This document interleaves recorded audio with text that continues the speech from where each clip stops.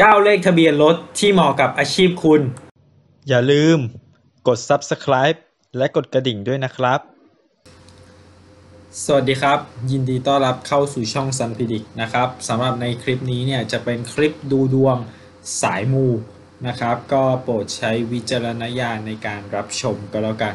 นะครับ ก็สำหรับคลิปนี้เนี่ยจะพูดเรื่องทะเบียนรถที่เหมาะกับอาชีพ นะครับ มาดูกันว่าทะเบียนรถที่คุณใช้อยู่เนี่ยเหมาะกับอาชีพของคุณหรือเปล่า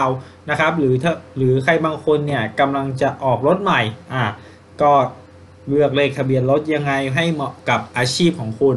นะครับ ก็เดี๋ยวมาดูกันนะครับ วิธีการคือเอาตัวเลขทะเบียนทุกตัวมาบวกกันจนเหลือเลขเพียงหลักเดียวนะครับ เช่นกอไก่กอไก่ 9999 ก็ให้เอา 94 ตัวมาบวกกันนะครับ 94 ตัวบวกกันเนี่ยก็จะได้ 36 ใช่ไหมครับอ่าพอได้ 36 ให้เอา 3 มาบวกด้วย 6 นะครับอ่าก็เป็น 9 นะครับ บวกกันจนเหลือเลขตัวเดียวนะครับ จากนั้นเดี๋ยวมาดูผลรวมกันนะครับ เลขทะเบียนรถที่ได้ผลรวมเป็นหมายเลขหนึ่งเนี่ย เป็นเลขทะเบียนรถที่เหมาะสำหรับคนที่เป็นเจ้าของธุรกิจรายย่อยๆนะครับ แล้วก็พวกอาชีพเกี่ยวกับข้าราชการทุกแขนงเลยนะครับ เพราะว่าเลขหนึ่งเนี่ยเป็นสัญลักษณ์ของดาวอาทิตย์นะครับ ก็เหมาะกับนักธุรกิจรายย่อยๆ หรือพวกข้าราชการทุกแขนงนะครับ หรืออาชีพที่เกี่ยวกับรัฐวิสาหกิจก็ได้นะครับ หรืออาชีพที่ต้องติดต่อกับ รัฐบ่อยๆ อะไรพวกนี้ก็ได้หมดนะครับที่เกี่ยวข้องกับดาวอาทิตย์นะครับ ต่อมาเลขทะเบียนรถที่ได้ผลรวมเป็นหมายเลข2นะครับเหมาะสำหรับอาชีพพ่อค้าแม่ค้า อาชีพค้าขาย อาชีพพยาบาล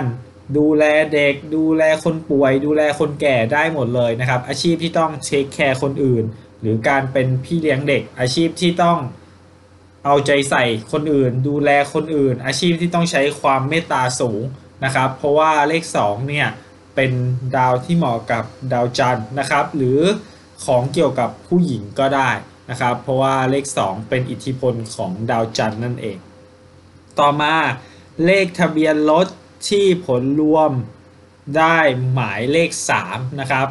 หมายเลข3เนี่ยจะได้รับอิทธิพลมาจากดาวอังคารนะครับ เป็นเลข ที่เหมาะสำหรับคนที่ทำอาชีพรับจ้างอาชีพที่ต้องลุยลุยสักหน่อยนะครับ หมอฟัน นักกีฬานะครับ ยิ่งนักกีฬาสายลุยเนี่ยยิ่งดีนะครับ พวกนักมวยอะไรพวกเนี้ยถือว่าเหมาะนะครับ แล้วก็ตำรวจนะครับอาอาชีพนี้ก็เหมาะนะครับสำหรับผลรวมเลขที่เป็นหมายเลข3นะครับ ถือว่าใช้ได้ ต่อมาครับเป็นเลขทะเบียนรถที่ได้ผลรวมเป็นหมายเลข4นะครับหมายเลข 4 เป็นดาวพุธนะครับ อิทธิพลเนี่ยก็จะเกี่ยวกับดาวพุธเหมาะสำหรับคนที่เป็นเซลล์เป็นนักขายนะครับ ขายประกันขายตรงขายอะไรเนี่ยได้หมดเลยหรือเป็นเซลล์ของบริษัทต่างๆ ก็ได้หมดนะครับ อาชีพเกี่ยวกับนักบัญชี นักประชาสัมพันธ์ หรือคนทำธุรกิจออนไลน์นะครับ หรือคนที่สร้างตัวตนในโลกออนไลน์นะครับ ถือว่าเลข4เนี่ยค่อนข้างเหมาะกับคนในยุคนี้นะครับ เพราะว่ายุคนี้เป็นยุคของโลกออนไลน์ ถ้าใครอันนี้เป็นทิปนิดนึงนะครับ ใครดวงชะตาเนี่ยเลข 4 หรือดาวพุธสวยเนี่ยก็ยุคนี้ก็อยู่สบายนิดนึงนะครับ ต่อมาผลรวมที่เป็นหมายเลข5นะครับ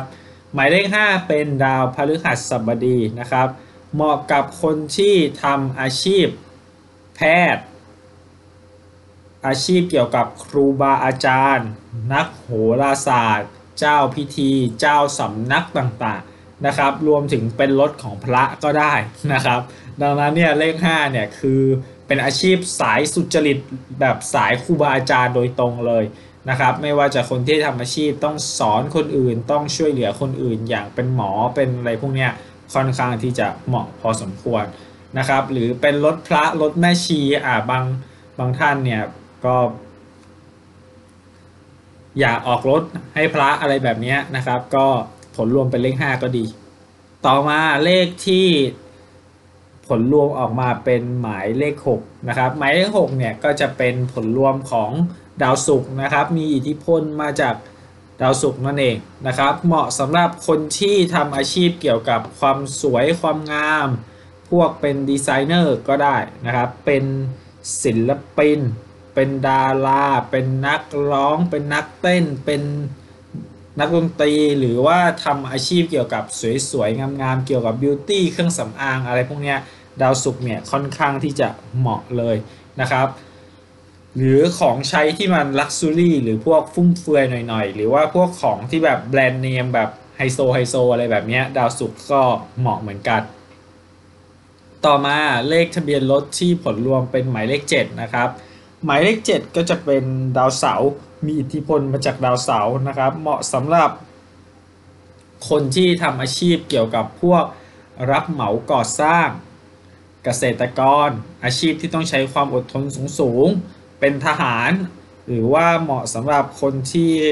ขายประกันภัยก็พออยู่ได้นะครับสำหรับเลขทะเบียนรถที่ผลรวมเป็นหมายเลข 7 นะครับ หรือเป็นพวกหมอจัดกระดูกอะไรพวกนี้ก็โอเคนะครับสำหรับหมายเลข 7 หมายเลข 8 นะครับ ใครที่ผลรวมเลขทะเบียนรถออกมาแล้วเป็นหมายเลข 8 ก็จะได้รับอิทธิพลจากดาวราหูนะครับ เหมาะสำหรับคนที่เป็นนายหน้าต่างๆนะครับ หรือคนที่เป็นนักลงทุน หรือคนที่ทำอาชีพสายออกเทาๆสักหน่อยอ่าอาชีพเทาๆเนี่ยมันมีเยอะมากนะครับ ดังนั้นเนี่ยก็เป็นเลขของคนที่ทำสายนี้นะครับ ต่อมาเลขทะเบียนรถผลรวมออกมาเป็นหมายเลข9นะครับหรือเป็นพระเกตนะครับ เหมาะสำหรับคนที่เป็นที่ปรึกษาอ่า ที่ปรึกษาก็ได้นะครับ หรือเป็นพวกคนทรง พวกอาชีพเกี่ยวกับสิ่งลี้ลับ เป็นหมอต่างๆ หมอผีหมอคุณใสยหมอแก้ของทำของอะไรพวกนี้นะครับ รวมถึงหมอดูก็ได้นะครับ หรือพวกเกี่ยวกับสิ่งเล้นลับ เป็นครูบาอาจารย์ก็พอได้นะครับสำหรับดาวเกต แต่ว่าดาวเกตเนี่ยเหมาะเกี่ยวกับพวกสิ่งศักดิ์สิทธิ์ค้าขายวัตถุมงคล หรือสายมูความเชื่ออะไรพวกเนี้ยก็ดาวเกตก็เหมาะเหมือนกันนะครับ อันนี้ก็เป็น9เลขทะเบียนรถนะครับที่เหมาะกับอาชีพต่างๆนะครับสำหรับใครที่กำลังจะซื้อรถเนี่ยก็โปรดใช้วิจารณญาณในการรับชม ส่วนใครที่ใช้อยู่แล้วก็ไม่ต้องไปซีเรียสนะครับ อันนี้ก็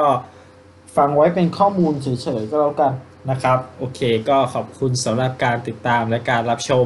อย่าลืมกดติดตามกด subscribe แล้วก็กดกระดิ่งให้ด้วยนะครับ สวัสดีครับ